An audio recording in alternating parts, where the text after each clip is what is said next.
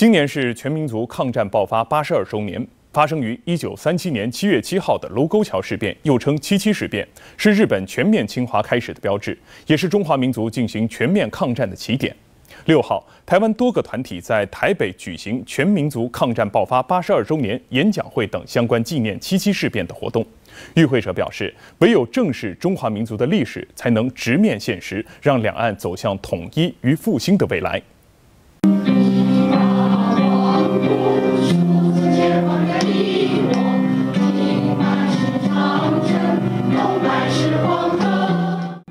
由中国统一联盟妇女部合唱团所演唱的歌曲《我们拥有一个名字叫中国》，拉开了纪念活动的序幕。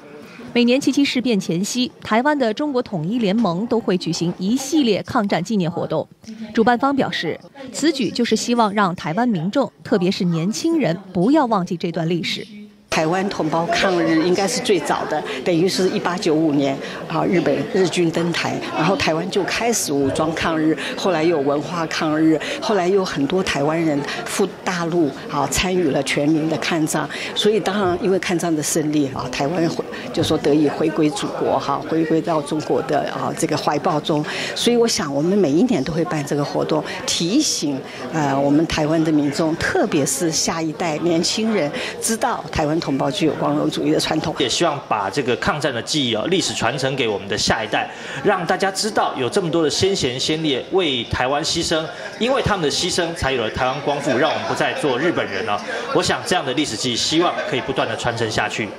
主办方也强调，我们纪念七七事变，就是要告诉大家。绝不允许少数所谓台独分子及外部势力把台湾从中国分裂出去。希望大家都立志成为国家统一、民族复兴的参与者、推动者、获益者。我们在台湾，今天在台湾纪念抗战的这个意义，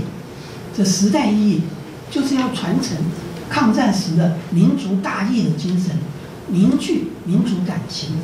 当然，我希望在不久的未来。两岸到时候我们将以国家再统一来纪念全民族抗日战争。